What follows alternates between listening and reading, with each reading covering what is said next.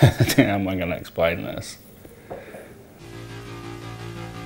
Welcome to the Theater of Magic. Seven o'clock. It's magic. Eight o'clock. Hocus pocus. Nine o'clock. Act magic. Ten o'clock. Vanquish the chain. Eleven o'clock. You must break free. Midnight Madness. Tiger Saw. Mystifying. Unbelievable. Spectacular. The theater awaits. G'day guys, welcome to the Theatre of Magic. My name is Greg, and yes, today we've got another pickup story, another pickup for you. Uh, and as per the title, this one was actually on Father's Day, but it's Father's Day, right? And I'm a father, surely I'm allowed to do my own thing on Father's Day.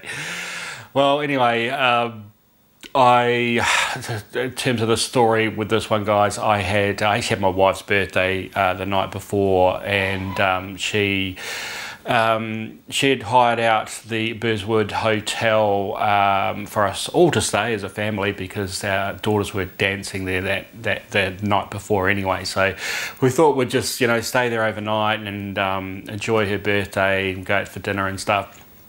And um, have a bit of a bet, which was a bad move, but anyway. so, um, but anyway, we, we had a we had a good time, and in the morning um, before we checked out, we had a late checkout, so we thought, oh, we'll head down to the pool and uh, sit out there. Now it was actually it was a really sunny day, but it was actually really cold. But the kids wanted to go for a swim, so sure, off they went. And I sat down on, lounged on one of the big sun lounges and um, I was looking around like, yeah, this looks pretty nice, nice surroundings and stuff. So um, enjoying it, and then I'm like, hmm, I'll just um, maybe I'll just get my phone and uh, just check my you know my email messages, and um, hmm, maybe I should uh, maybe I should check Gumtree. Why? Why? Why? So yes, I checked Gumtree, guys, and as I flicking through Gumtree, sitting on this lounge chair.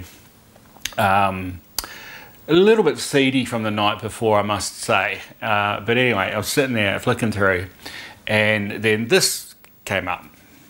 Now, for you guys in Australia, you would know, you'd recognise this cabinet pretty much straight away. For you that aren't in Australia, you may not recognise it. So, this is what they call a LAI fat boy. you heard it right, it's a fat boy. So they have the low boys, which is sort of the sort of um, skinnier versions of this uh, with a 20 inch monitor. This has a 25 inch monitor in it. Um, and it's an interesting form factor. So again, if you're not in Australia, you probably wouldn't have seen this sort of cabinet overseas. Now, when you first look at it, it's like, okay, it seems like a sort of fairly generic cab, and um, it, it, sort of is. It, it, actually is suitable for lots of different games, and LA, I used it as a general sort of uh, cab in Australia for putting in games with a big 25 inch monitor, which is just awesome for, for sort of two player um, uh, games. And guys, I have actually been looking at this particular form factor for some time. Um, obviously, it doesn't have a nostalgic value for me, um, but this cab ticks a lot of boxes uh, as a MAME replacement machine. So if you look at my old MAME machine, which um, which even though I hacked it together myself, uh, you know, uh, it, it's, it's, it does its job, but the control panels, I've, I've, said before, needs to be completely redone. That was sort of temporary the way it was set up with all the additional controls and it's not even symmetrical.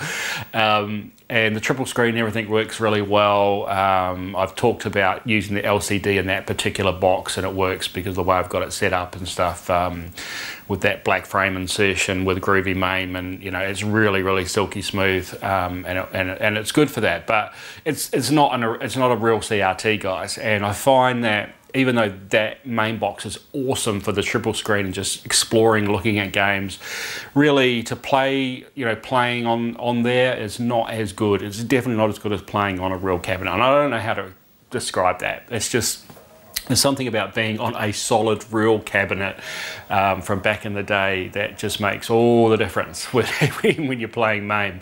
And of course, having the real monitor, you know, through the CRT, it's always going to be better than an LCD. So in the back of my mind, I thought this would be a cool cabinet to get because um, for a couple of reasons. One, it's got the big 25 inch monitor. The way it's sort of laid out um, in terms of like it sort of sits down and, and as like semi-horizontal, um, Um, it, it's it's sort of quite compact. It's not and it's not too high and bulky. So it's sort of similar to what I have. It's it's, it's clearly a lot bigger because it comes out further, um, but it is similar. I can't put my fridge underneath it, unfortunately, just the way that everything is sorted in there. But I've got another idea for that. Um, which we'll go through another day. But uh, so I would lose the fridge, but I thought everything else I could transfer from my, my main box currently and stick it in here, and that way I've got you know another real cab, and I can get rid of the you know the the makeshift cab that that I uh, that I built. Um, and the other really important aspect of this cab is the width of it. So the width of this is, is quite wide and the third triple screen for the marquee on my existing main cab it, that's actually sort of cut into the wood slightly even on my on my build. Um, it's, it's quite wide. It won't fit in a standard any other sort of standard cab but it will fit perfectly in this fat boy cab in the uh, marquee area. So um, so I think it's going to work really well. The, the my marquee is not quite as uh, high as the one uh, in the Fat Boy, but it will certainly fit in there nicely, nice and square without you know damaging the cabinet at all and uh, and then I can run it, you know, still with the triple screen. Uh, in fact, I'm looking at maybe even having uh, an additional screen sort of above, which will run the hyperspin and everything. And then once you choose a game, that will actually run on the 25 inch, plus having the flyer screen, plus the marquee, and having four, effectively four screens running off it. Um, that's all yet to be done on another day. um, but that's why I got attracted to this cabinet. And of course, guys, as you know, as I say again and again and again for every single pickup, it's got to be about the price. It's got to make absolute financial sense in terms of uh, it being a really, really good deal. Otherwise, I just will not go for it. Um, you can wait around. You can get really good deals if you wait. And uh, and again, for me to justify this hobby um, to my wife and and others, it's uh, much easier if uh, I'm getting good deals and really actually making a bit of an investment in some way. So. So this one with the with the price, I, I um, I thought, oh, this this this is definitely definitely a good deal. Now, it did actually say it, it had two games in it. Um, Street Fighter and Alien vs Predator, and uh, for those of you that know, they're like Capcom um, CPS 2 games. So I thought that was interesting, um, and I thought, I wonder how he's got that set up. And then uh, he said there was a couple of problems. There was one that he couldn't get, he couldn't coin up Alien vs Predator, something wrong with the coin mech. Uh, couldn't put it on free play, and uh, the Street Fighter he could put on free play, so he could play it, but he couldn't get the sounds working on it. So those were a couple of the problems. Otherwise, it looked really good. Um, went over there, uh, went to pick it up. Really nice guy. It was really his only machine. He had it, and it's you know next to his pool table.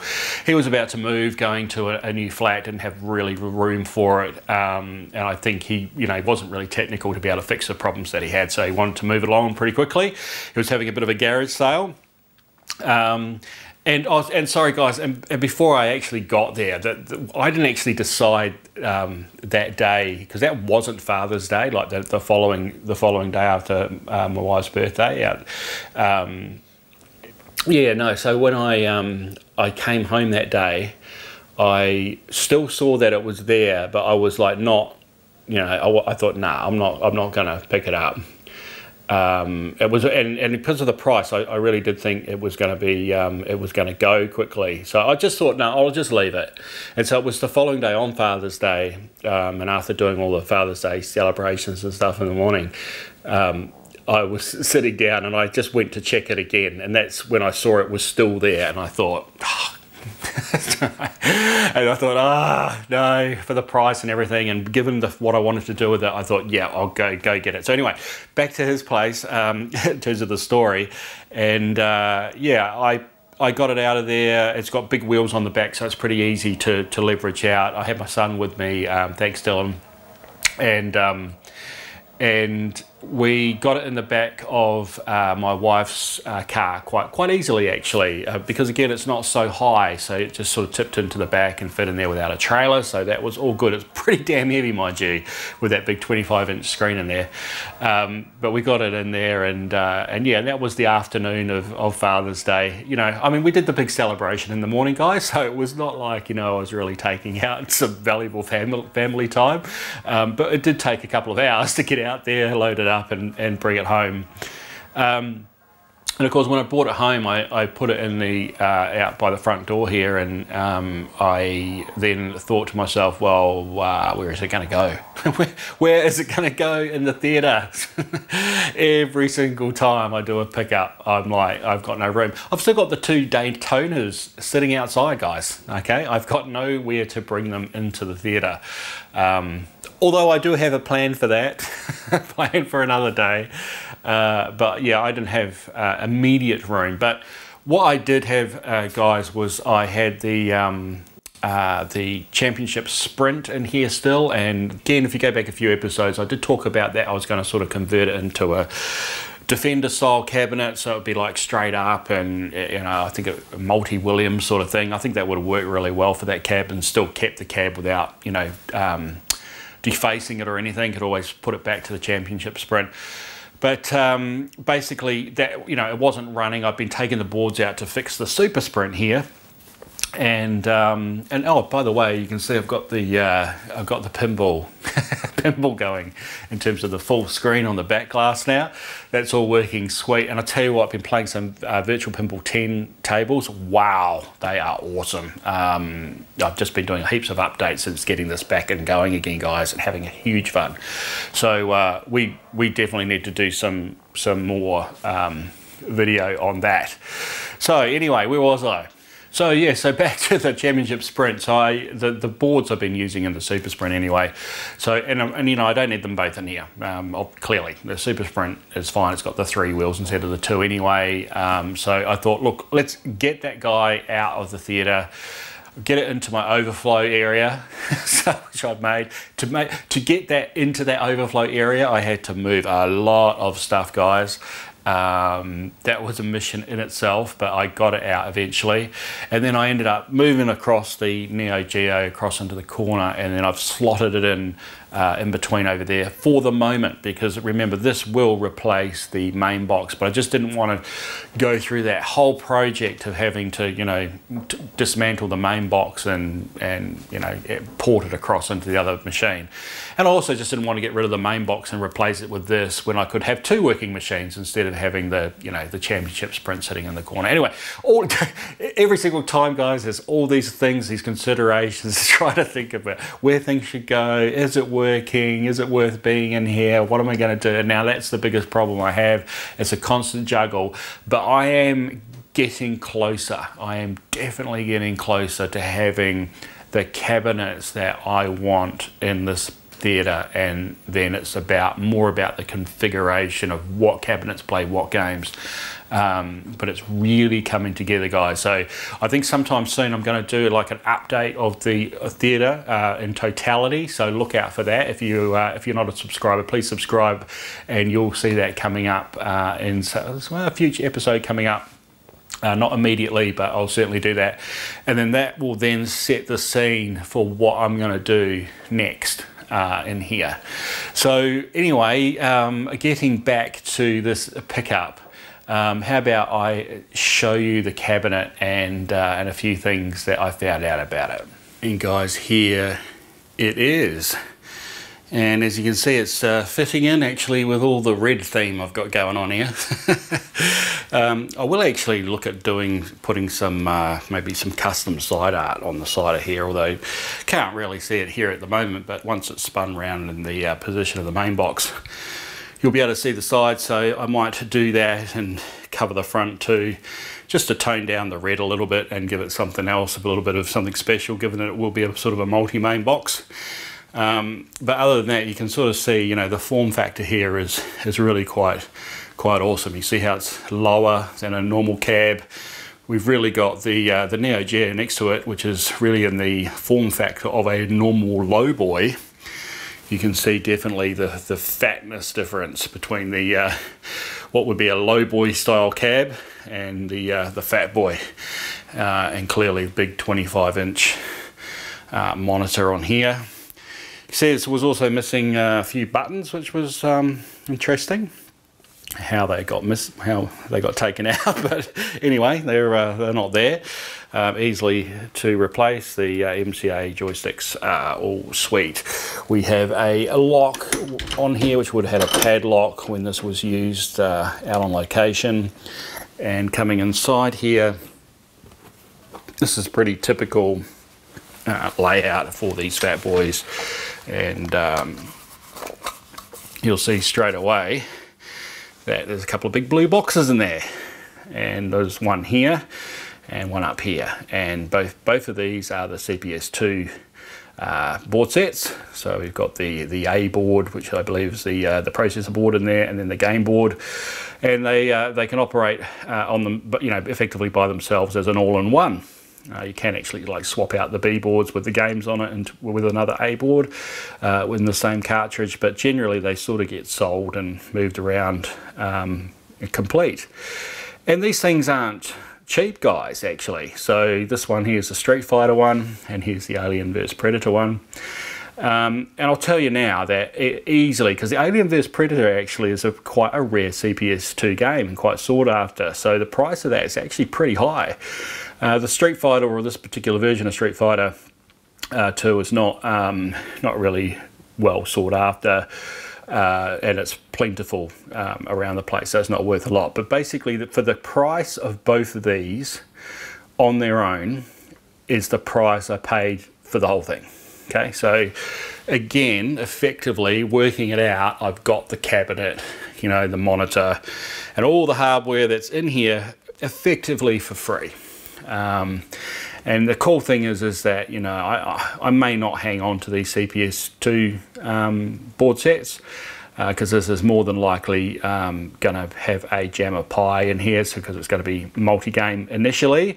And then of course it's going to swap in the whole computer setup to do the four screen uh, main box later on down the track. So I'll, I'll certainly be able to get my money back um, and it will be effectively a free cabinet uh, swap over. So that's why, guys, I, I, decided to, to take it on. In the meantime, of course, it's really uh, interesting and cool to have a look at this hardware. Um, I'm not familiar with the Capcom CPS2 stuff, so it's good to have uh, some finally to, to check it out. Um, the other thing is is that uh, with these LAI cabinets, you know, they're built really, really well in here. And um, you can see, you know, I mean, this is all plywood. It's not chipboard. So again, it's a really, really solid cab, guys. Really solid. So that was really important to me as well. And this has, you know, a drawer that slides out. So it's sort of easier to, to service it. Um, some of the other stuff around the back is like right over around the back in terms of the uh, the monitor transformer and that sort of thing. But everything else is quite easily accessible up here. You've got this really cool LAI uh, distribution box, um, and again with all the hardware and the connection points for that. So yeah, there's you know again there's a lot of hardware in here. The coin are all here. Um, I've, I've, managed to quickly fix the problem just temporarily with the coin mechs. Um, I found I moved both of the mechs. One of the mechs, there's like four um, switches in here for the mechs, and uh, initially they weren't working. Uh, I think this one was joined over to here. I moved it over onto here in terms of the wiring. Um, and funnily enough, I'm even just adjusting it, somehow something's gone on, and now when I put a coin in on that side, I actually get two credits. So, like, both of them are working. so, but initially, neither of them were. So, I don't know what's going on there. There's something funky with the switching. Uh, but anyway, that was a relatively easy fix. On the inside here, you've also got the monitor settings. When I first picked it up, um, the monitor uh, didn't look that crash hot in terms of colours and I just came in here with a nice little daughter board off the uh, the back of this uh, monitor chassis here and that allows you to change the uh, the red blue and green um, and the brightness. And so in um, Alien vs. Predator there's a nice uh, I can show you that in a minute there's a nice little test screen to check the colours and that uh, allowed me to adjust it out which was cool. And the other thing in here is at the back just there is the degauss switch. So I've still got a little bit of issues with the monitor. We'll fire it up here and uh, you'll see in a moment. Um, I got rid of the most of the degauss issues, but I think there's still something going on there. So anyway, let's uh, fire it up and uh, again, it's a nice little switch under here to do that. Um, and we've got also like, you know, there's the, the uh, test switch here, uh, service switch, uh, the volume control, coin counters, master fuse, and then the main switch. We turn it on. Um, it sounds a bit like a vacuum cleaner. a few uh, old fans in the back. I'll see it come up, and we will get some. Uh, I'll just turn this light off here. We will get uh, a few problems on the the main screen, although I have sorted out a little bit, but you can sort of see on on this side, it's just uh, it's not quite as sharp. It might be hard to, to see on, on video actually, but I did sort it out quite a bit. Um, I can see there's a difference in the green on the left and the right, and uh, well, let that uh, focus in. Um, but you know, it, it's actually pretty good, guys. It's um, it's it's reasonable. Um, funnily enough, that red is looking a little bit washed out from what I had it before. So let's turn this back on. This light. Um, yeah, the red doesn't look as good as it was. You know, we'll come back to that. Maybe it's just sort of warming up still.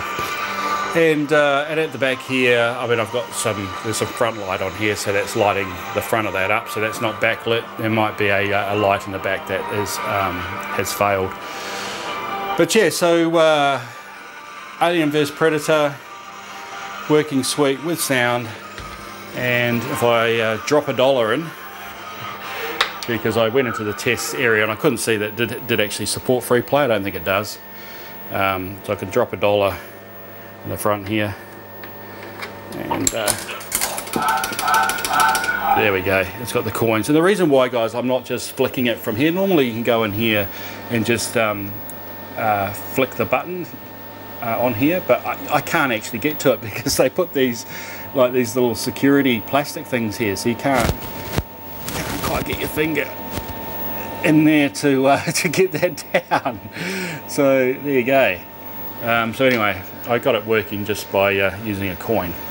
So let's have a, a quick look of the game.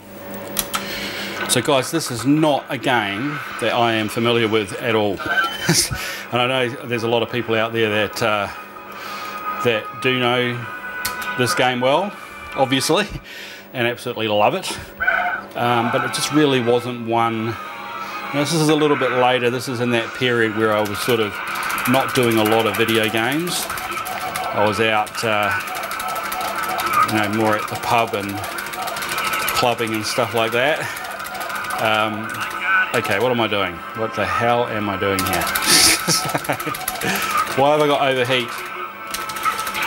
I've got to use this other button, I think. So, but Aliens, you know, the Alien, original Alien movie was just awesome. And, um, and then they followed them up with the, the successes, which were more just a big alien monster fest, whereas the first one was almost like a scary suspense thriller horror.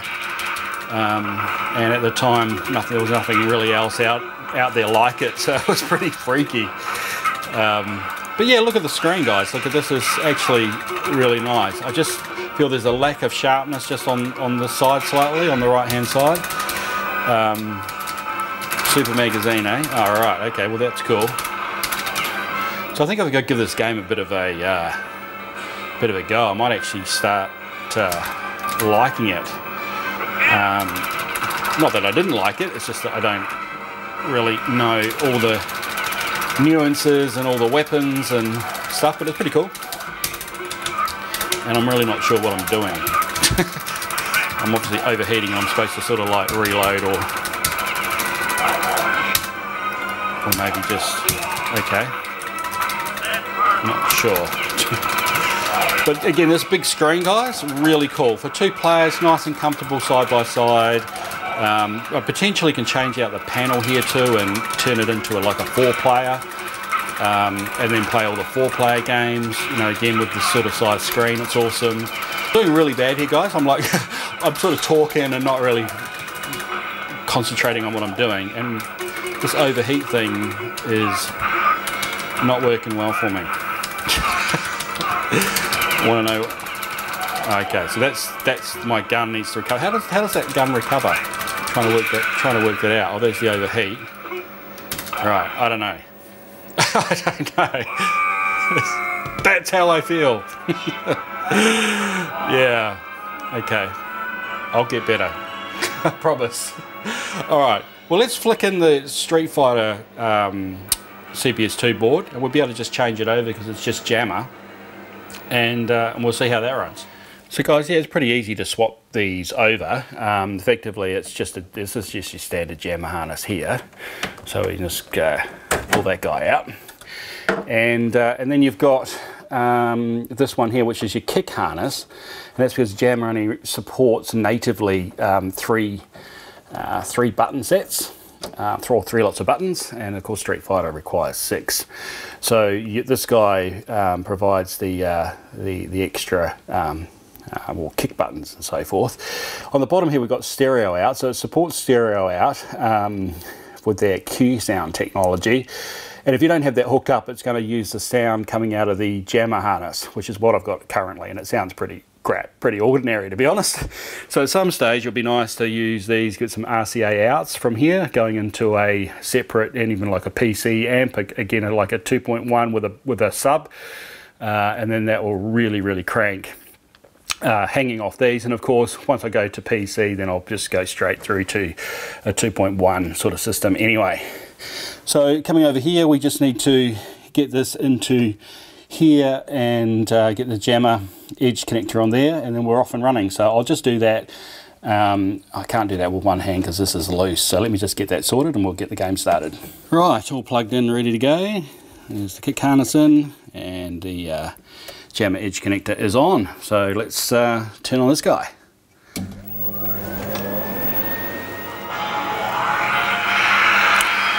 And here we go, we have Street Fighter and we have sound. so that's really bizarre because I did not have sound before. Now I did see um, online there is actually on the uh, CPS2 board itself, I believe there is a volume control on the board and you can hold that down as you turn the game on um, and keep it held down until effectively it you know, fully boots.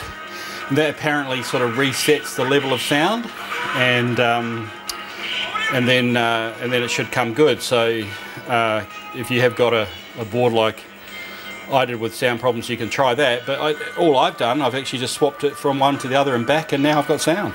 So, so bonus. This is on free play, so I should be able to just kick in and start.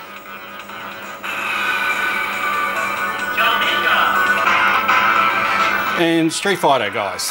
Um, you know, funnily enough, it's and I'm only playing with four buttons. I don't have I don't have all my kicks, um, but that that's a weak excuse because I'm just crap at this game. Um, as you can see, I haven't even. Okay, cool. I'm going to be not. All right, at least I got one punch in. Wow. Um, I think I could like this game. I mean, I like Mortal. I like Mortal Kombat sort of better. I just love all the the, the kill moves and the uh, fatalities and just the way the uh, the voice acting is in um, in Mortal Kombat, you know, with the finish him and all that stuff. It's just so cool. Um, but I think I could get to like this. And regardless, if you you know you're with a mate or whatever, having a crack on a beer, um, this you know it's best played head to head instead of against the AI. It's much more fun, uh, especially if both of you are not very good at it. Then it sort of just makes it a little bit more even. Otherwise, I am going to lose every game. but look at the screen guys. Again it looks really really nice. Um, I'll just pop into the settings here. Let's just flick the test switch. So you can see here input output system config uh, and here we've got the free play. Um, you can set it to it so it's even on its easiest setting and I was doing poorly. Uh, you can go to sound that's where you go to stereo and then that will come out of your RCA those RCA outputs. Uh, you can turn off the demo sound of course if you can continue or not. So yeah well, you've got all your options in here. Um, on uh, the Aliens one, we didn't have the ability to put it on free play, which is why we need to use the coin. Oh, hop out of here was one player. And there's memory test and sound and so forth. The colour one it was uh, the good one, so that gave me the ability. So when I came in here, all of these were all over the shop, and uh, using the brightness control and those color pots I brought everything up I've noticed I can't quite get the red up to the same level so there is a bit of a problem with that but otherwise it's looking pretty good. It's um, got a little bit of uh, issue with the um, with the convergence uh, down the bottom here. But again I actually sort of still quite like that. It's just sort of part of uh, I think playing an arcade game on a CRT uh, which is all cool. We've got the dot cross hatch. We'll hit that guy and we can see so right over here I don't know if you can see that guys but on this side in particular uh, I can definitely see it needs to still to be more degauss. Um, I've degaussed it several times already but it's still going a bit orange over this corner um, where that red line is. And just this bit here is a little bit fuzzy that's all. Um, and if I really still looking at this picture yeah it's got a slight um, and not that noticeable I thought I might have had a little bit of a wobble I think it's my just my eyes um, you can see it can, the um, convergence is getting a bit off here with the with the blue and the reds come, coming away from the lines. But anyway, it's a nice, a nice test. Um, it's possible the, the, chassis may need a bit of work um, to resolve this properly. Maybe a little bit more degaussing will get rid of the uh, the colouring on there. But look, I'm, I'm being you know not not overly fussy because it's nice to have it um, have it sorted and have it nice but um, and you know having a perfect picture but it's certainly playable and usable right now Okay, so to get out of here, um, I need to exit, but I can't exit while I've still got the test switch on, so let me just turn the test switch off.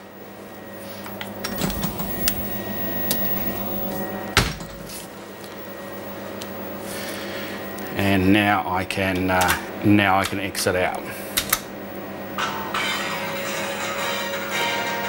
And there we go.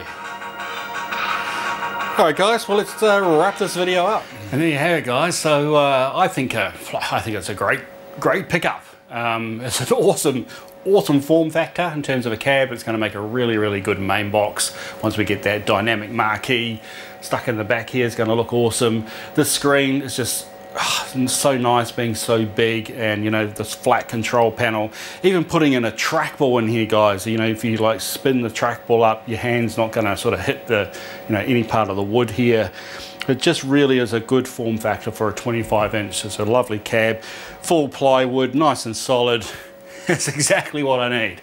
So another day we will get that swapped in to the main one. I still have to do some thinking and planning because I need to move the fridge, but I do have a plan for that, of course. Um, but that again is for another day. So uh, plenty more of content coming up again, guys. And if you haven't subscribed, please do subscribe. Lots coming up. Um, and uh, I hope you guys have been uh, fixing your games, playing your games, and all that, uh, all that good stuff. I have been really, really busy at work, but I've been also busy getting other things organised. Um, we do have to get back to those Daytona machines and start having a look at those that we picked up. Where They're rather rough and ready. Uh, but got some news on that front. And uh, yeah there's a few other surprises coming up soon guys so make sure you subscribe. Until then please do look after yourself and take care of others and uh, let people enjoy your games and, and play them. The more sharing and caring is a good thing I think. And of course until next time ciao for now. You must continue. You can do it.